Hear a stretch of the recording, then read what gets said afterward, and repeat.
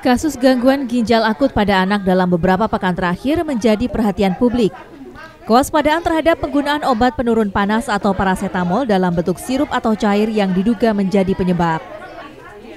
Bahkan dari pihak Kementerian Kesehatan juga telah menyarankan untuk tidak dikonsumsi terhadap jenis obat penurun panas dalam bentuk sirup.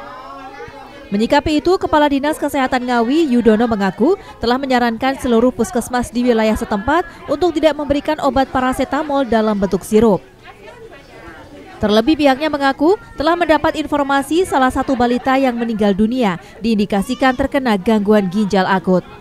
Hal ini karena gejala yang diderita pasien balita tersebut yakni panas disertai muntah dan diare. Meski begitu belum dapat disimpulkan penyebab pasien meninggal. Menurutnya, balita tersebut sebelumnya sempat dirawat di salah satu rumah sakit swasta di Ngawi. Selanjutnya dirujuk ke rumah sakit Solo. Namun perlu penanganan lebih lanjut sehingga harus dirujuk ke rumah sakit yang ada di Jakarta. Saat akan dirujuk ke rumah sakit itu, balita tersebut telah dinyatakan meninggal dunia. Kemarin ada info ada yang meninggal gara-gara penyakit, uh, penyakit ya, itu, Pak. kemungkinan ya ada dimungkinkan juga kasus seperti itu. Gimana itu? Itu dari eh, rumah sakit pertama yang yang merawatnya itu Atin. Atin. Ya Atin terus dibawa ke Solo rencananya mau dibawa ke Jakarta ke Cipto. Tapi sudah meninggal di Solo. Usianya berapa itu? Masih balita. Kemungkinan kan berarti ada Pak per- eh, per- apa itu peredaran obat yang ada di Kabupaten Ngawi. Ya. Itu nanti pencegahannya sendiri dari Dinas Kesehatan bagaimana Pak? Eh, jadi kalau, kalau pencegahannya begitu nanti ada informasi dari kementerian langsung kita tindak lanjuti.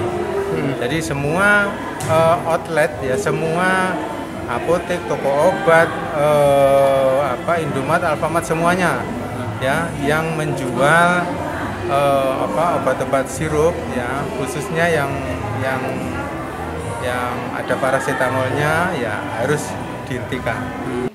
Yudono menambahkan saat ini pihaknya juga terus memberikan pemahaman melalui tiap-tiap layanan kesehatan atau puskesmas untuk sementara tidak memberikan resep paracetamol sirup.